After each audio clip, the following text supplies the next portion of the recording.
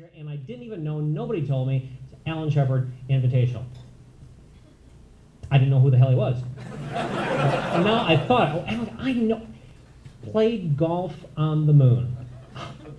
As if the game doesn't play slow enough with gravity.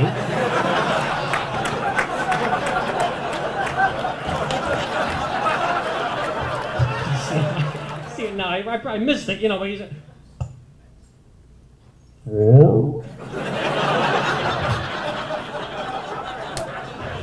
Yeah, who the hell is he going to hit, you know? yeah, but it's, uh, it's for those frustrated golfers. It's like you, you, you miss the putt. hey, Bob, you want to play tomorrow? Yeah, sure. play. Uh, you know, it's one of those things where, you know, the whole, the whole course could be cleared, and the slowest foursome's in front of you. it's just like, What are they doing up there? Here, get in there. Here. Life room. This is good for travel. I love this sucker.